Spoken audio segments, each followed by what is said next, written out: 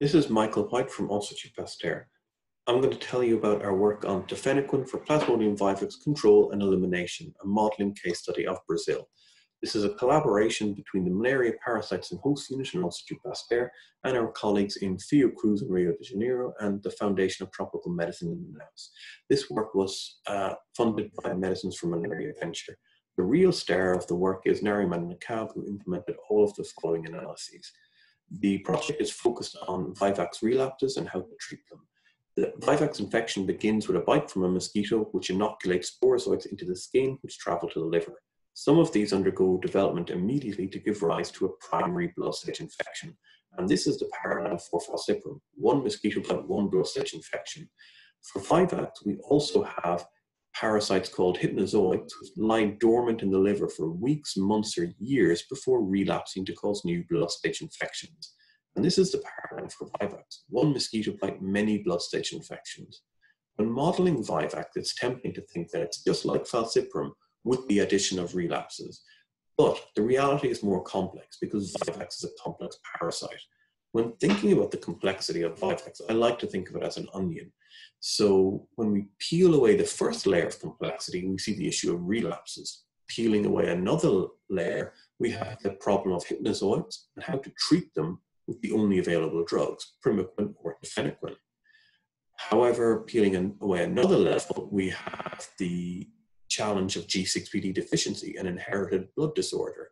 Now, if we give primaquine to a G6PD deficient individual, they may have a severe hemolytic event.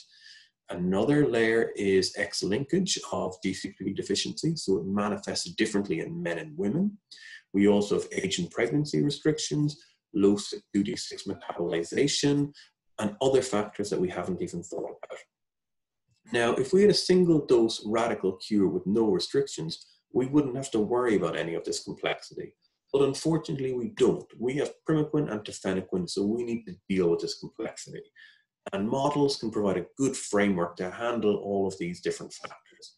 So I'm going to turn to our example of case management in Brazil. So currently for symptomatic Vivax, it's three days of chloroquine and a seven day regimen of low dose primaquine. Um, so we're going to describe the primaquine treatment pathway. So the process begins with a symptomatic case of Vivax searching treatment in a healthcare facility. Uh, cases are first sorted by age, gender, and pregnancy status.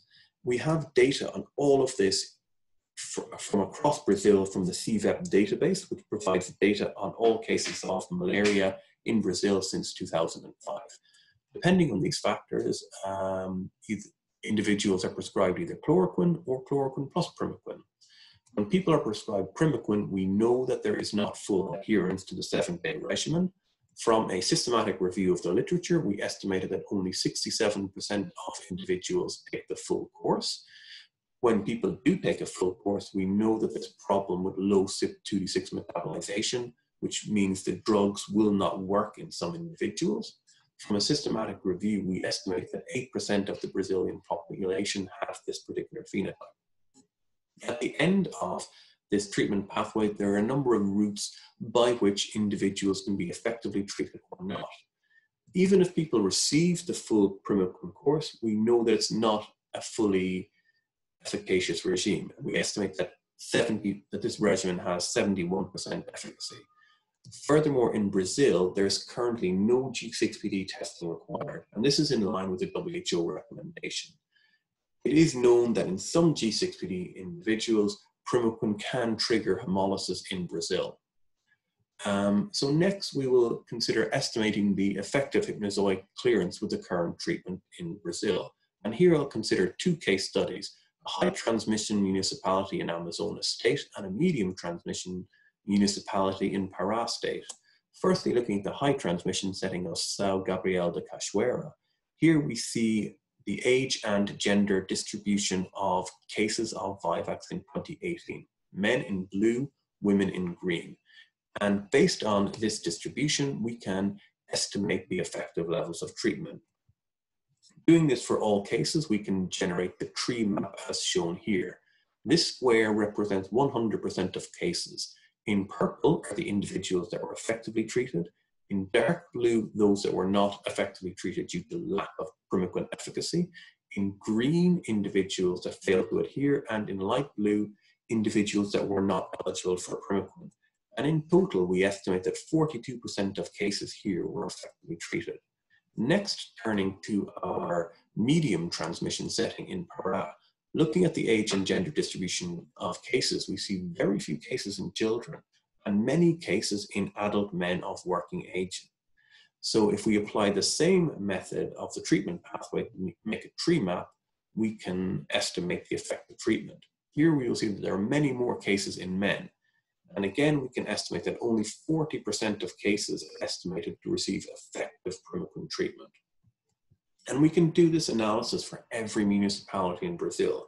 And in total, we estimate that only 43% of cases in, in 2018 were effectively treated with radical cure. Um, next, we can turn to the proposed new Vivax radical cure in Brazil incorporating tafenoquine. It's important to note that tafenoquine will not fully replace primaquine and that individuals who are not eligible for tafenoquine will still receive primaquine. Mandatory G6PD testing will also be required.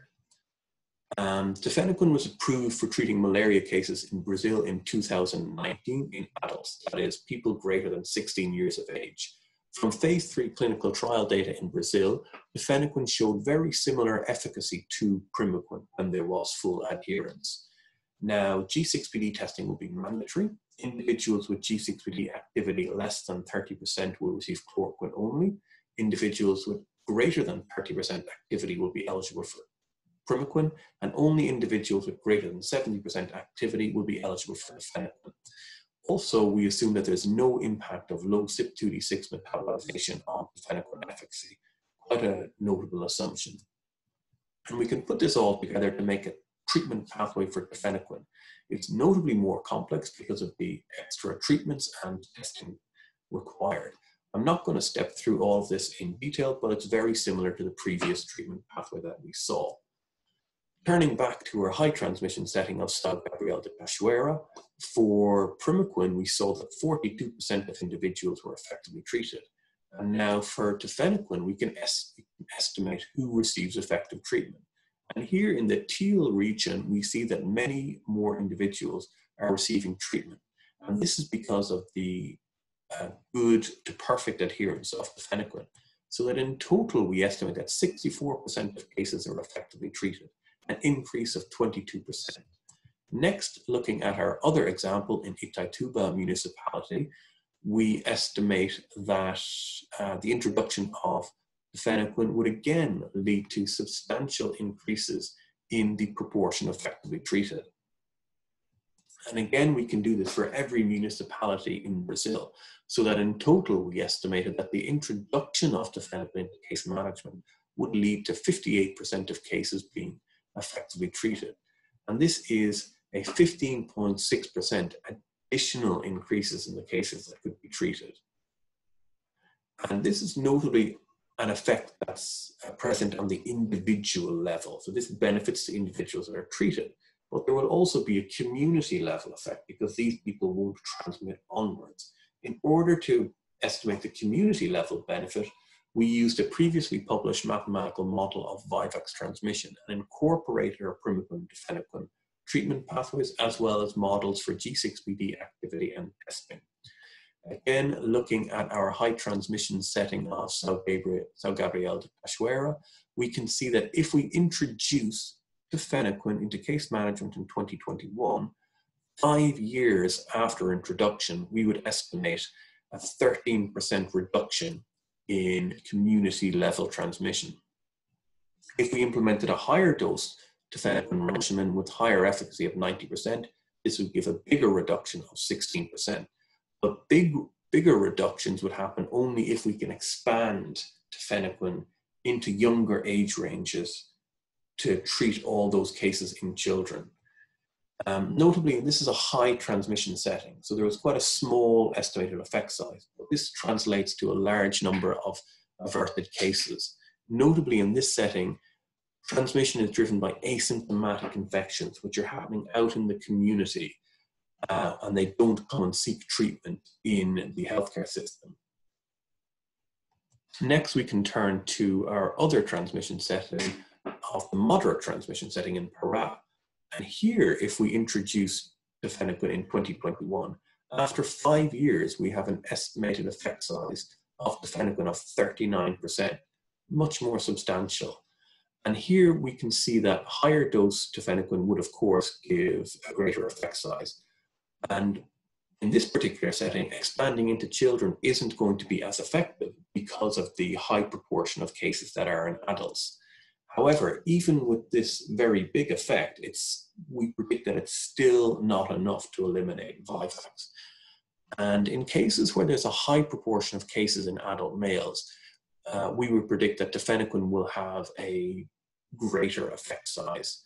So I'm going to finish by summing up what we expect to see five years after the introduction of tafenoquine. In Brazil, we estimate that this would increase the proportion of effective radical cure from 43% to 58%. In total, we expect that this will lead to the 300,000 cases averted in the first five years. This would need a lot of G6PD tests. We estimate 880,000 G6PD tests would be needed. Um, if we can introduce high efficacy tafenoquine either by higher dose to make it higher efficacy or and also give tafenoquine to the younger age group in children, then we can increase the uh, proportion receiving radical cure to 81%, which could lead to half a million averted cases. And finally, as the number of cases averted increases, this will bring down transmission and the number of doses and G6PD tests will reduce, which can potentially contribute to the cost effectiveness of this regimen. So I'll finish by thanking you and taking any questions.